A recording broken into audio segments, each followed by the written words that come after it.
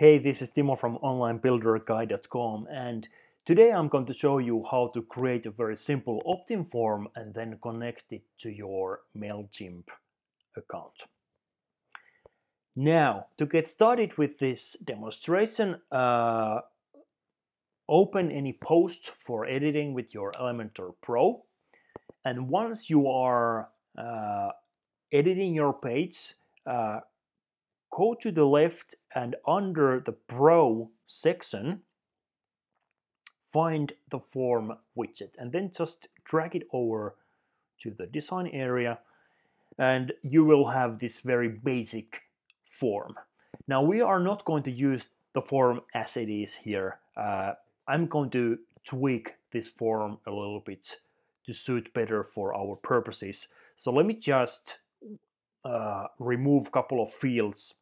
Uh, as you can see that here on the left, once the form is active, you have these form related settings here on the left. So in this particular case, uh, I will remove the name field and the message field so that only the email field is being left. Now, when I click the email uh, field or this email setting here on the left, uh, I will have different field related settings. Uh, you can basically tweak these ones the way you would like to, but in this particular case, I want to make sure that the email field is actually required. And, and so what it means is that when someone comes to your website and tries to submit this particular opt-in form, uh, it is not going to happen.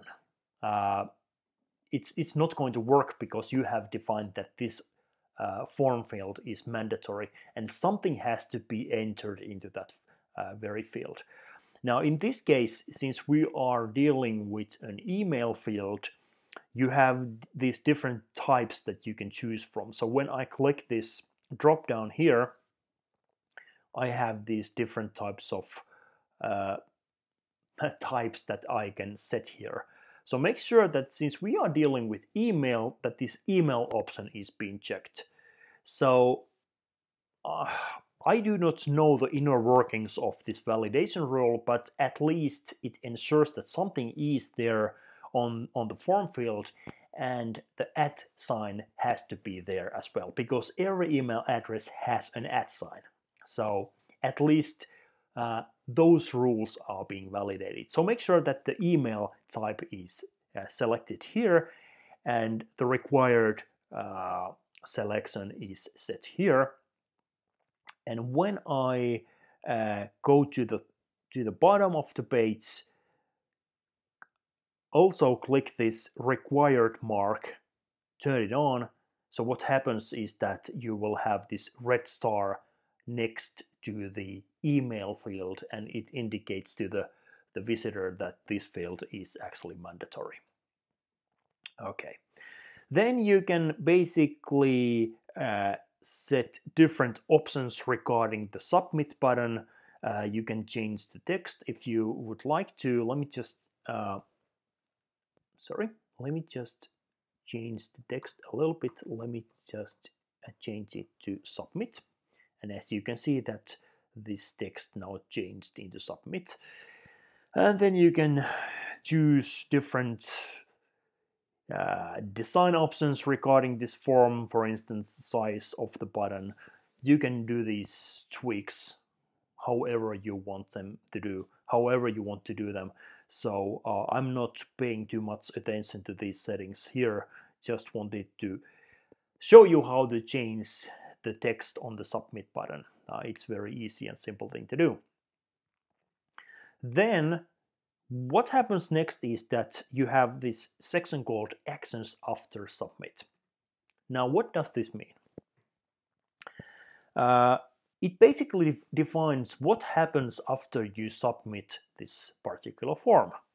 Now the email value here uh, in add action field is being selected as default and you will also see that you have this email section here but we are actually not interested about email in this particular in, in this particular case we are connecting this form into the MailChimp account.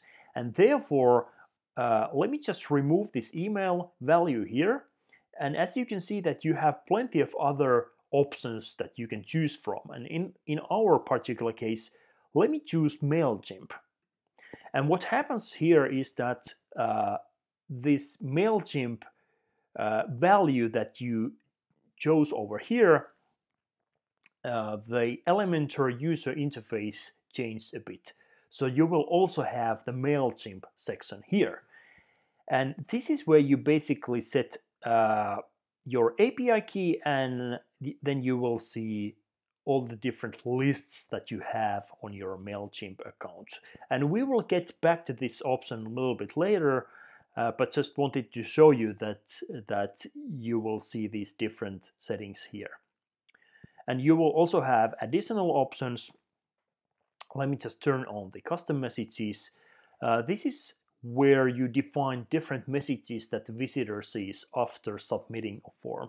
So for instance, uh, if submitting a form was successful, the visitor sees this text, the form was sent successfully, and you can obviously change this text uh, to read whatever you wanted to read or say whatever you wanted to say. And then at the same time, for instance, if you wanted to change the required message, then uh, this text uh, is actually shown and then you can naturally tweak this text as well. But I'm not going to change any of these texts uh, in this demonstration. Great, so the opt-in form is actually ready. Make sure to update it or publish it. This may depend on your uh, current status of your page. I will just update this form field for the time being. Uh, everything is ready, the form is ready. The next step is actually to connect it to uh, your MailChimp account. Now what I have done already is that I have created a MailChimp account for this demonstration. And the first step to do uh, once you have registered an, uh, an account with MailChimp is to create an email list. Uh, I have some email lists already created, but let me just show you how it's done with MailChimp. I'm actually very new with MailChimp, just registered an account just two days ago, so it's, it's a really new acquaintance to me, but uh, I think that I can show you how to do these basic steps with MailChimp. Anyways, uh, when you are on your dashboard, on your MailChimp dashboard, go to audience, and here you can see uh, manage audience uh, selection here on the left. And then you can click view audiences. And as you can see that I have some lists that I have already created, but let me just show you how to create a brand new list. So let me just click create audience and then again click create audience. Now, here you can set some basic information related to your email list. So let me just uh, enter test list tree and the from address is going to be uh, an email address that you are currently using. So for instance, it could be uh,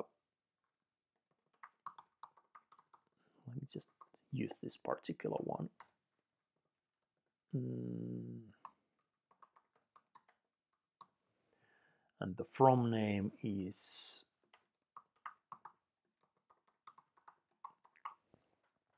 just make sure that these values are something that you recognize very easily.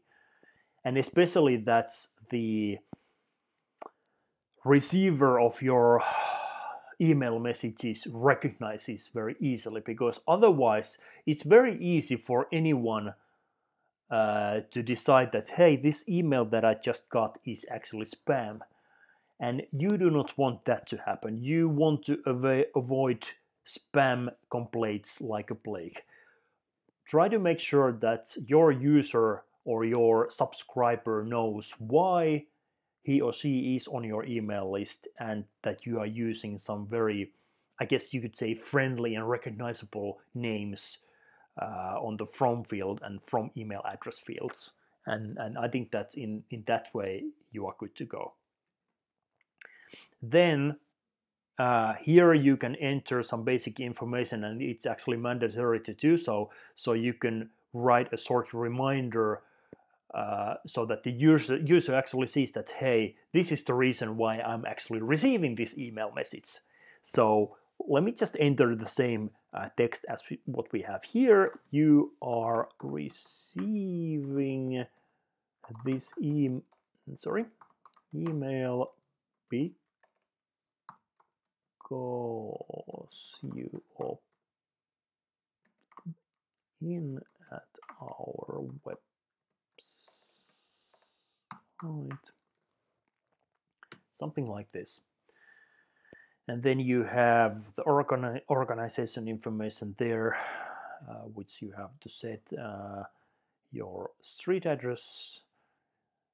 Um, and yeah, you have some other form related settings. I'm not going to cover them over here because this tutorial is not how to use MailChimp. I will probably cover this information in another video, but not in this particular one. Let me just click Save. Let's see if uh, everything went okay. So I have this test list number three. Great. What happens next? Uh, you basically have to create an API key in order to hook up your uh, opt-in form that you created with Elementor Pro uh, to your MailChimp account. And it's actually a very simple thing to do. Uh, all you have to do is to click this arrow pointing down, uh, pointing down next to your uh, profile name. So click that one and let me just go to account. And here in extras, you have API keys. Now, I have already generated two API keys and I'm only using this one particular this particular one here uh, on this demonstration but it's as easy as clicking create a key and your API key is being created. It's shown on this list. And once you have actually uh, created your API key it's a matter of just copying it. Let me just copy this information, this API key, and let me go back. Let me go to the text edit application and paste it here as my reference if, if I need it for some reason. And let me go back to the WordPress dashboard. Sorry, let me go here. Uh, no, it was here. So when I click the Elementor and then I click settings, you will see that under integrations, you have uh, this section named MailChimp. And this is where you paste this API key that you just generated. Once you have done that, validate the API key by clicking this button. And if it's valid, uh, you should see this uh, green check mark uh, displayed here. So everything is fine. You have created your MailChimp email list, you have created an API key, and you have validated the API key. And the next thing is actually uh, make sure that uh, Elementor sees your new list. And this way you can verify that the connection is actually working.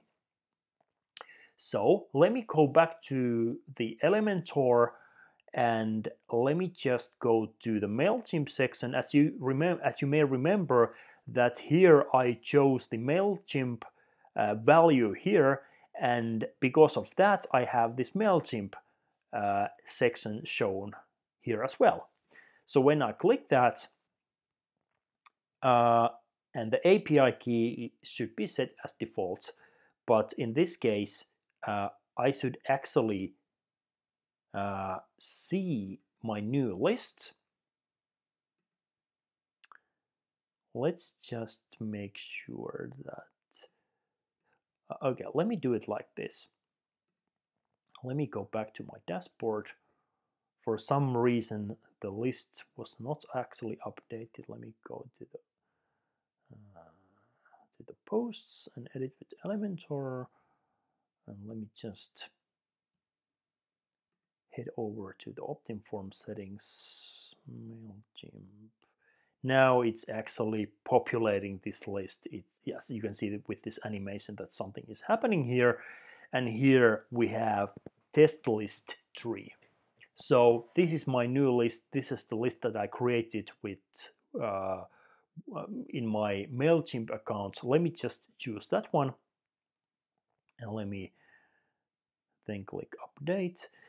And here one setting that you should set is that you map this form field that you have on your Elementor form to the MailChimp form. So make sure that in this particular, particular case, since we have the email field, it's also mapped to the email field. So let me choose that one and let me update this form setting again.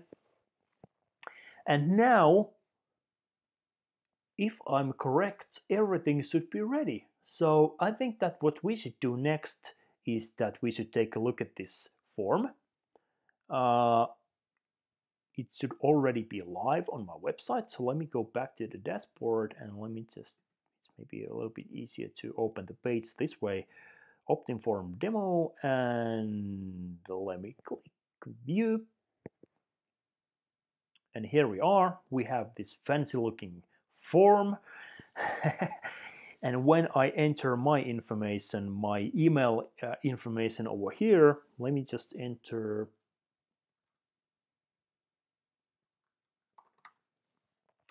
this particular one. I have some I have actually a couple of email addresses I can use, so it's, it's great for this demonstration. Let me just click submit. The form was sent successfully. Now, when you head over to MailChimp, once again you go to the audience here at the top, and here you can click view contacts. And let's see what happens next. I have uh, my current audience is selected as test list number three. You have these other lists here as well, but test list number three is here. Ta-da! Here is my email address, and I was able to subscribe to my. Uh, I was able to subscribe to this email list by using the opt-in form that I created with Elementor Pro. That was then hooked to the MailChimp account. And this is how this whole process works. Like I told you, uh, this is not about how to do email marketing, this tutorial. It's not about how to do email marketing. It's not how to use MailChimp. Just showing you some basic uh, information, basic steps on how to connect your uh, Elementor uh, form Elementor opt-in form to a MailChimp account. And there are obviously other uh, email service providers that you can use. Uh, for instance, if we go back, hmm, let me just go back to the form and edit with Elementor. So it's it's much easier to show you this way. So actions or the action actions of the submit. Let me just choose mail uh, sorry, let me just remove MailChimp. So you can see that you have some other options. You have Drip, you have Active Campaign, you have Get Response, ConvertKit, whatever. So you have plenty of other options that you can use. But this is basically how you hook up your phone with MailChimp. Now, I hope that you enjoyed this video and I will get back to you with another video very soon. Bye-bye.